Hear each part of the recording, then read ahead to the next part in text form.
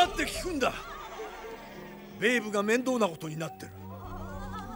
私たちのベイブがどうかしたの？競技用の羊たちがベイブにそっぽを向いてる。話も聞かない。誘導のしようがない。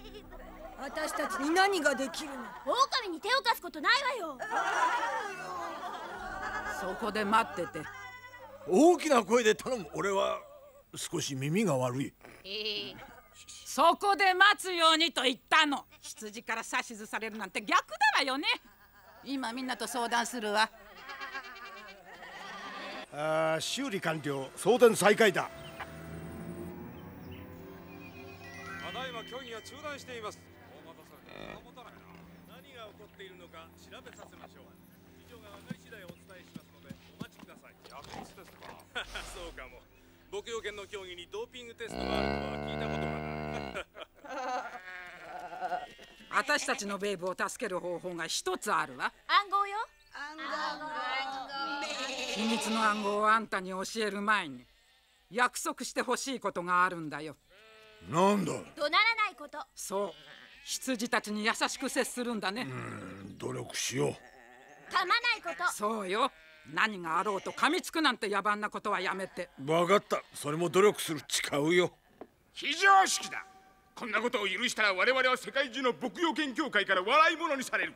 だが規則には今審査員が協議をしているが許可が下りるはずがない。前例を認めたらどうなる？来年は豚ではなくハイエナが現れるかもしれない。冗談じゃない。もう一つ約束してもらいたいのよ。これは一番大事なこと。今教える暗号は今日限りのことで。あとは絶対に使わないことよ。約束する。ベイブにもしっかり言っておく。では秘密を明かそう。ベイために。彼を助けるために。メイも喜ぶはずよ。バーラムユー。バーラムユー。を着た同胞たちに変わらぬ忠誠を変わらぬ愛を。バーラムユー。それだけ？それが暗号か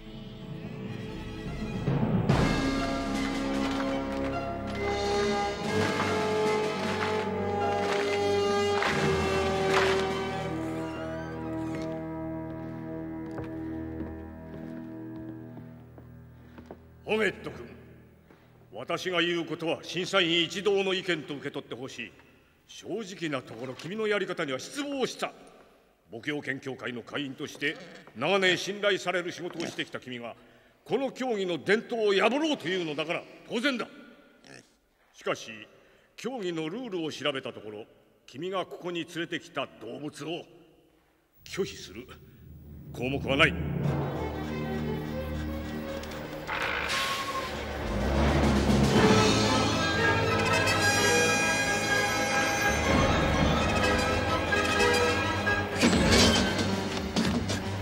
我々としては君がやる気ならばそれを止める権限は持たない。どうするね？